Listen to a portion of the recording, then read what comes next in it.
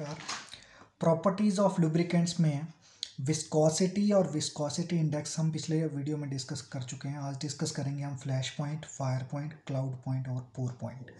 Flash point और fire point जो है, वो किसी भी लुब्रिकेंट की फ्लेमेबिलिटी की प्रॉपर्टी को बताते हैं कि कितना फ्लेमेबल वो लुब्रिकेंट है। तो फ्लैश पॉइंट की अगर हम बात करें तो flash point is defined as the lowest temperature at which a liquid ignites briefly और फ्लैशेस थोड़ी देर के लिए अगर कोई लिक्विड जलता है on exposure to an open flame right तो इसको थोड़ा सा समझने की कोशिश करते हैं कि मान लीजिए कि ये लुब्रिकेटिंग ऑयल है राइट इस लुब्रिकेटिंग ऑयल के नज़दीक अगर आप थोड़ी देर के लिए कोई आयर ओपन फ्लेम का सोर्स लेके जाते हो और अगर ये फ्लैश करता है किसी टेम्परेचर पे वो उस टेम्परेचर को बोलते हैं फ्लैश पॉइंट राइट हर लिक्विड का हर लुब्रिकेंट का हर कंबस्टाइल मटेरियल का एक अपना फ्लैश पॉइंट होता है। देखिए ये मैंने फ्लैश पॉइंट लिखे हुए हैं जैसे डीजल का फ्लैश पॉइंट है 52 डिग्री सेल्सियस अब फ्लैश पॉइंट चेक कैसे होगा वो मैं आपको बता आ, बताता हूँ किस तरह से चेक होगा। देखिए मान लीजिए कि आपने 10 डिग्री सेल्सियस आपका टेम्परेचर है। राइट? और यहाँ पे ऑयल जो मैंने लिखा है, यहाँ पे डीजल आपने रखा हुआ है। और टेन डिग्री सेल्सियस टेम्परेचर के ऊपर जब आपने डीजल रखा है और इसके इसके इसके नज़दीक आप जब कोई ओपन फ्लेम लेके जाएँगे तो कोई भी छो किसी भी तरह का फ्लैश जो है ये डीजल जो है, डीजल के वेपर्स जो हैं बिल्कुल भी नहीं जलेंगे। उसके बाद टेम्परेचर आप बढ़ाएँगे twenty degree Celsius thirty degree Celsius forty इस तरह से अगर जो टेम्परेचर जो है फिफ्टी टू डिग्री सेल्सियस पर पहुँच जाता है राइट right? उस टाइम अगर आप कोई फ्लेम का सोर्स लेके जाएँगे यहाँ पे तो ये जो डीजल है, ये थोड़ी देर के लिए जल उठेगा एक फ्लैश आएगी एकदम अचानक से और उसके बाद वो बुझ जाएगी। तो वो टेम्परेचर जिस टेम्परेचर पे ये फ्लैश आने, आ जाती है या फ्लैश आनी शुरू होती है that temperature is known as flash point right और फ्लैश पॉइंट उसके बाद अगर 52 डिग्री सेल्सियस से ऊपर भी अगर हम टेम्परेचर बढ़ा देते हैं, मान लीजिए कि टेम्परेचर को हम 70 डिग्री सेल्सियस कर देते हैं, सपोज़ 70 डिग्री सेल्सियस कर देते हैं तो उसके बाद अगर हम कोई ओपन फ्लेम का सोर्स इसके नज़दीक लेके जाएँगे तो ये कॉन्टिन्यूसली जलता रहेगा राइट तो after achieving the flash point अगर हम फर्दर टेम्परेचर को बढ़ाते हैं, then fire point is raised. At fire point, the liquid is burnt continuously in the presence of an open flame, right? और flash point जो है पाँच से दस डिग्री हायर होता है in comparison to the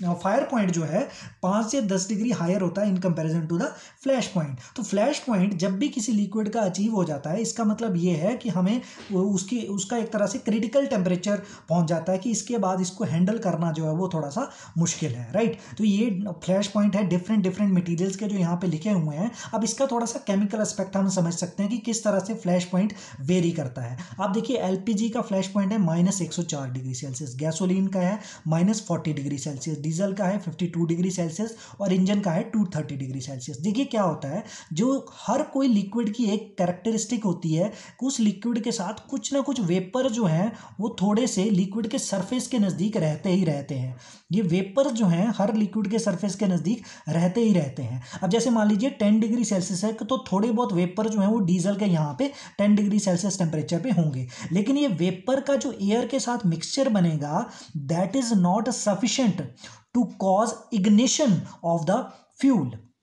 under test right तो जैसे जैसे टेम्परेचर बढ़ता है 10 से 20 डिग्री सेल्सियस टेम्परेचर जाता है तो वेपर की कंसेंट्रेशन बढ़ जाती है। 30 पे कंसेंट्रेशन और बढ़ जाएगी। 52 डिग्री सेल्सियस पे कंसेंट्रेशन इतनी ज़्यादा बढ़ जाएगी कि जब भी कोई आप फ्लेम का सोर्स लेके जाएँगे तो these vapours and the mixture of the vapours of oil means vapours of diesel और साथ में एयर का जो मिक्सचर है that is sufficient to generate spark और टू जनरेट ब्रीफ फ्लैश और ब्रीफ फायर थोड़ी देर के लिए सफिशेंट होता है। उसके बाद अगर फिर टेम्परेचर 70 डिग्री सेल्सियस ले जाते हैं तो वेपर्स की कंसनट्रेशन इतनी ज़्यादा हो जाती है कि ये जो फायर है, वो लगातार जलती रहती है राइट तो flash point and fire point are highly highly dependent on a factor factor which is known as volatility the formation of vapour vapour formation की जो प्रॉपर्टी होती है, उसको वॉलेटिलिटी बोलते हैं राइट right? अब देखिए फ्लैश पॉइंट और फायर पॉइंट किस तरह से वेरी करते हैं, वैसे इनको अफेक्ट करने वाली कई चीज़ें हैं, लेकिन अगर हम इन ऑयल्स की या इन हम कंबस्टाइल मटेरियल की तरफ़ देखें तो एक ट्रेंड हमें नज़र आता है एलपीजी की अगर हम बात करें तो एलपीजी में कार्बन वन से लेके कार्बन फोर, चार कार्बन तक इसमें कंपोनेंट्स हो सकते हैं राइट गैसोलीन की अगर हम बात करें तो सी एट कंपोनेंट इसमें ज़्यादा होता है। डीजल की बात करें तो C twenty component C twenty तक इसमें कंपोनेंट होते हैं और इंजन ऑयल में सी थर्टी या सी थर्टी फाइव तक भी कंपोनेंट्स होते हैं। तो जैसे जैसे नंबर ऑफ़ कार्बन आइटम बढ़ रहा है वैसे वैसे फ्लैश पॉइंट भी इनका बढ़ रहा है। रीज़न ये है कि लार्जर इज़ द हाइड्रोकार्बन देखिए, इसमें सबसे बड़े साइज़ का हाइड्रोकार्बन रहता है। जितने हाइड्रोकार्बन का साइज़ जितना बड़ा है, उतना उसको, उसकी वॉलेटिलिटी की प्रॉपर्टी जो है वो कम होती रहती है। मींस इंजन ऑयल के वेपर्स कम बनेंगे in comparison to LPG diesel के वेपर्स कम बनेंगे इन कंपैरिजन टू गैसोलीन तो जिनके वेपर्स ज़्यादा बनते हैं, ज़्यादा जल्दी बनते हैं लोअर टेम्परेचर पे बन जाते हैं, उनका फ्लैश पॉइंट उतना ही कम होता है। Right so this is the this is about flash point and fire fire point अब फ्लैश पॉइंट और फायर पॉइंट का सिग्निफिकेंस क्या है लुब्रिकेशन में? इनका सिग्निफिकेंस ये होता है, अगर किसी भी लुब्रिकेंट का आपको फ्लैश पॉइंट या फायर पॉइंट पता है तो उसका ट्रांसपोर्ट किस तरह से करना है, उस लुब्रिकेंट का स्टोरेज किस तरह से करना है, उसका हैंडलिंग किस तरह से करना है और उसका यूज़ कहाँ पर करना है, ये सब कुछ डिसाइड किया जा सकता है on the basis of its flash point and fire point. जैसे कि इंजन ऑयल को अगर 230 किसी भी इंजन ऑयल का अगर फ्लैश पॉइंट 230 डिग्री सेल्सियस है तो हम किसी भी ऐसे इन्वायरमेंट में जहाँ पे ओपन फ्लेम है और 230 से ऊपर उसका टेम्परेचर है, वहाँ पे हम इंजन ऑयल का यूज़ नहीं कर सकते। लेकिन यहाँ पे आपने एक चीज़ से कंफ्यूज नहीं होना है कि इंजन ऑयल का अगर 230 डिग्री सेल्सियस फ्लैश पॉइंट होता है तो मशीन में तो कई बार टेम्परेचर बहुत ज़्यादा चला जाता है। तो मान लीजिए कि किसी पिस्टन में कोई हाइड्रोलिक सिस्टम में आप काम कर रहे हैं, उस हाइड्रोलिक सिस्टम में जो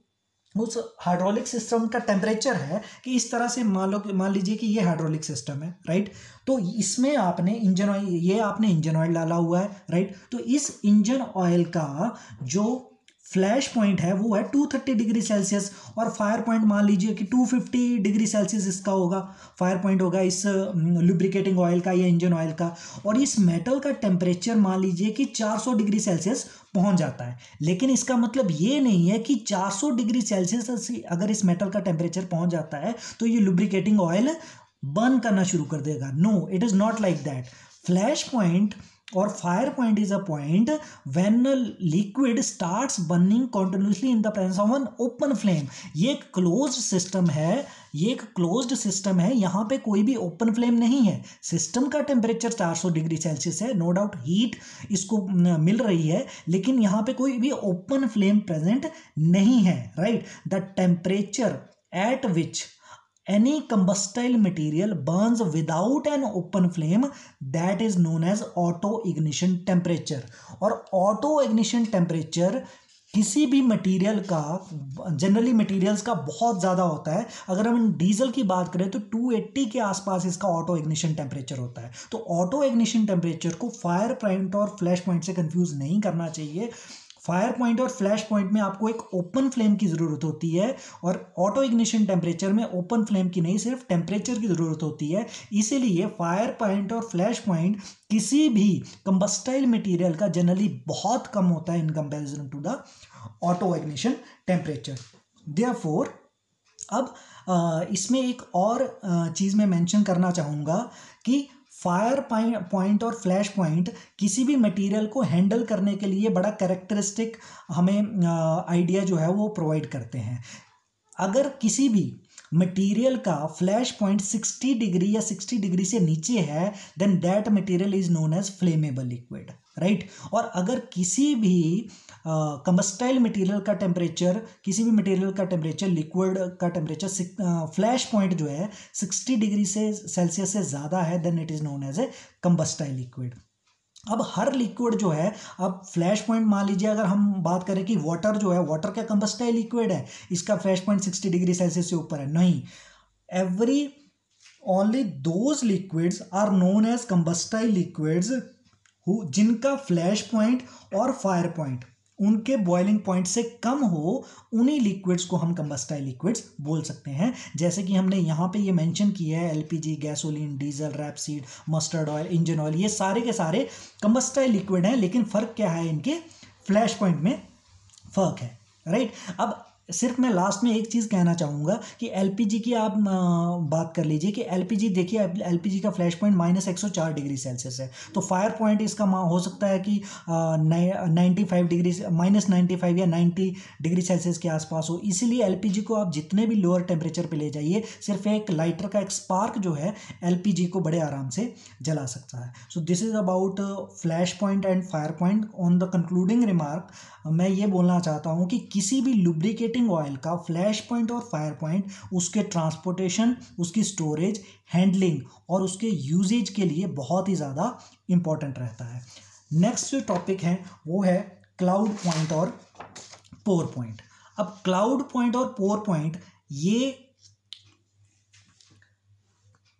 लुब्रिकेटिंग ऑयल की फ्लोएबिलिटी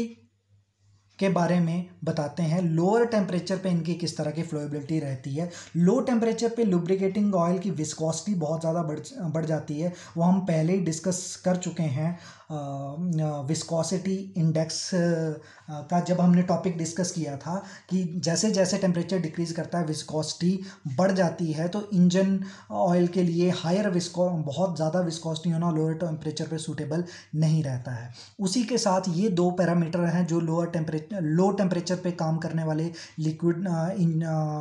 लुब्रिकेंट ऑयल के लिए बहुत ज़रूरी है राइट तो क्लाउड पॉइंट क्या है? Cloud point is the lowest temperature at which the oil becomes hazy in appearance और क्लाउडी इन अपेयरेंस राइट तो अब देखिए, इसमें एक चीज़ में सबसे पहले बताना चाहूँगा कि जो आपके लुब्रिकेटिंग ऑयल्स हैं टर्बाइन ऑयल हुआ मल्टी ग्रेड इंजन ऑयल हो गया, ये सिंपल वाटर की तरह लिक्विड नहीं है कि जिसका फ्रीजिंग पॉइंट जो है ज़ीरो डिग्री सेल्सियस है कि आप ट्वेंटी डिग्री सेल्सियस से धीरे धीरे नीचे नीचे करते जाइए टेम्परेचर और जब ज़ीरो डिग्री सेल्सियस अचीव हो जाएगा तो जो है सिस्टम जो आपका वाटर है बिल्कुल फ्रीज हो जाएगा सॉलिड हो जाएगा। लुब्रिकेटिंग ऑयल जो है, यहाँ देखिए एक मैंने रिप्रेजेंटेटिव डायग्राम बनाई है। Lubricating oil specially mineral oil की अगर हम बात करें it is compose of a number of hydrocarbons right और जो हाइड्रोकार्बन्स है, उनकी चेन लेंथ जो है वो वेरी करती है। किसी में कार्बन थर्टी हो सकता है, किसी में कार्बन ट्वेंटी हो सकता है, किसी में कार्बन ट्वेंटी फाइव हो सकता है किसी में कार्बन थर्टी फाइव हो सकता है। तो इन सभी जो हाइड्रोकार्बन हैं, इनमें number of carbon atoms vary करते हैं। Number of carbon atoms vary करते हैं तो हम ये मान सकते हैं कि इनका फ्रीजिंग पॉइंट भी वेरी करता है। तो ये सभी जो है, एक टाइम पे फ्रीज नहीं करते हैं राइट तो मान लीजिए कि इस सिस्टम को हमने लगभग 40 डिग्री सेल्सियस टेम्परेचर पे रखा हुआ है और ये सारे का सारा लुब्रिकेटिंग ऑयल जो है, ये लिक्विड फॉर्म में है। तो जैसे जैसे आप टेम्परेचर डिक्रीज करना शुरू करेंगे टेम्परेचर को डिक्रीज करना शुरू करेंगे टेम्परेचर को तो धीरे धीरे कुछ ऑयल के मॉलिक्यूल्स या कुछ हाइड्रोकार्बन के मॉलिक्यूल्स ऐसे होंगे जिनके की क्रिस्टल बनने शुरू हो जाएँगे with decrease in temperature right तो कुछ मॉलिक्यूल्स ऐसे होंगे जिनके क्रिस्टल बन जाएँगे, जैसे जो लंबे मॉलिक्यूल्स जिनका फ्रीजिंग पॉइंट कंपैरेटिवली हायर होगा, उनके क्रिस्टल्स बन जाएँगे। लेकिन जिनका फ्रीजिंग पॉइंट कंपैरेटिवली लोअर होगा, उनके क्रिस्टल्स नहीं बनेंगे। नाउ इस स्टेज पे आपके पास जो सिस्टम है, यहाँ पे आपका सारा का सारा लिक्विड स्टेट में था। लेकिन इस स्टेज में जब आपने टेम्परेचर को कम कर दिया है, आपके पास कुछ लिक्विड के ऑयल मॉलिक्यूल्स भी हैं लिक्विड ऑयल मॉलिक्यूल्स भी हैं, साथ ही साथ में कुछ क्रिस्टल्स भी हैं। इस स्टेट में इसकी जो विजिबिलिटी है, वो क्लाउडी हो जाती है right and the temperature lowest temperature at which the oil becomes cloudy is known as the cloud point पर इस टेम्परेचर पे भी ऑयल जो है, वो फ्लो करता रहता है। वो फ्लो करने से रुकता नहीं है राइट क्योंकि इस स्टेट में कुछ मॉलिक्यूल जो हैं, वो लिक्विड स्टेट कुछ ऑयल ऑयल के मॉलिक्यूल जो हैं, वो लिक्विड स्टेट में हैं और कुछ के जो हैं, वो क्रिस्टल बन कुछ के क्रिस्टल जो है, वो बन चुके हैं राइट तो हेजी सा अपियर होता है, लेकिन अभी भी ये मूव कर रहा है। उसके बाद जब आप टेम्परेचर को फर्दर डाउन करना शुरू कर देते हैं और कम करते हैं टेम्परेचर को तो एक स्टेज ऐसी आती है कि सारे के सारे जो हाइड्रोकार्बन्स हैं they are converted into crystals और इनकी मूवमेंट होनी जो है, इनकी मूवमेंट होनी बिल्कुल बंद हो जाती है राइट लेकिन इस टेम्परेचर पे जब इनकी मूवमेंट होनी बिल्कुल बंद हो जाती है, इस टेम्परेचर से तीन या चार डिग्री सेल्सियस ऊपर तक ये जो हाइड्रोकार्बन है, ये क्लाउडी तो होता है। सॉरी ये जो लुब्रिकेटिंग ऑयल है, ये क्लाउडी तो होता है, लेकिन ये फ्लो करता रहता है। So pour point is the temperature at which an oil continues to flow by gravity under specific condition right कि pour point no movement temperature means बिल्कुल फ्रीजिंग टेम्परेचर से थोड़े से ऊपर वाला टेम्परेचर है जहाँ पे ऑयल फ्लो कर रहा है। तो एक बार मैं फिर से रिपीट करना चाहूँगा कि जब एक आप लिक्विड स्टेट से किसी भी किसी भी लुब्रिकेटिंग ऑयल का टेम्परेचर जब डिक्रीज़ करना शुरू करते हैं तो सबसे पहले वो उसकी एक क्लाउडी अपीयरेंस आती है, क्योंकि कुछ एक जो हाइड्रोकार्बन के मॉलिक्यूल्स हैं, वो क्रिस्टल की फॉर्म में कन्वर्ट हो जाते हैं। इस क्लाउड पॉइंट को कई बार वैक्स अपीयरेंस टेम्परेचर भी कहा जाता है और उसके बाद जब क्लाउड पॉइंट से भी आप फर्दर टेम्परेचर डिक्रीज करते हैं तो एक पोर पॉइंट आता पोर पॉइंट आता है जहाँ पे लिक्विड फ्लो कर रहा है continues to flow under gravity but उस पोर पॉइंट के नीचे अगर टेम्परेचर चला जाता है तो आपका लुब्रिकेटिंग ऑयल जो है वो बिल्कुल मूवमेंट करना बंद कर देता है राइट तो यहाँ पे हमने मेंशन किया है कुछ एक ऑयल्स का, कुछ एक ऑयल्स का क्लाउड पॉइंट और पोर पॉइंट कैरोसिन का देखिए minus twenty one degree Celsius पे ये हैज़ी हो जाता है और minus twenty five degree Celsius तक ही ये मूव कर जाता है। इससे नीचे मूव नहीं करता है। डीजल का minus nine degree Celsius cloud point होता है और माइनस इलेवन डिग्री सेल्सियस का पोर पॉइंट होता है। और अगर हम इंजन ऑयल्स की बात करें मल्टीग्रेड इंजन ऑयल का pour point minus thirty five degree Celsius तक होता है और टर्बाइन ऑयल का pour point minus eighteen degree Celsius तक होता है। अब पोर पॉइंट और आ, इसका क्लाउड पॉइंट का सिग्निफिकेंस क्या है? अब पोर पॉइंट का सब इट इज़ वेरी इंपॉर्टेंट जो सबसे it determine the fluidity of a lubricating oil at low temperature. जिस लुब्रिकेटिंग ऑयल का पोर पॉइंट जो है जिस लुब्रिकेटिंग ऑयल का पोर पॉइंट बहुत ही पोर पॉइंट या क्लाउड पॉइंट बहुत ही ज़्यादा कम है। जैसे मल्टीग्रेड इंजन ऑयल का minus thirty five degree Celsius तक है तो ये लो टेम्परेचर पे बहुत अच्छे से काम कर सकता है राइट और अगर किसी भी इंजन ऑयल का पोर पॉइंट जो है वो बहुत ज़्यादा मान लीजिए कि आ, कोई engine oil ten minus ten degree या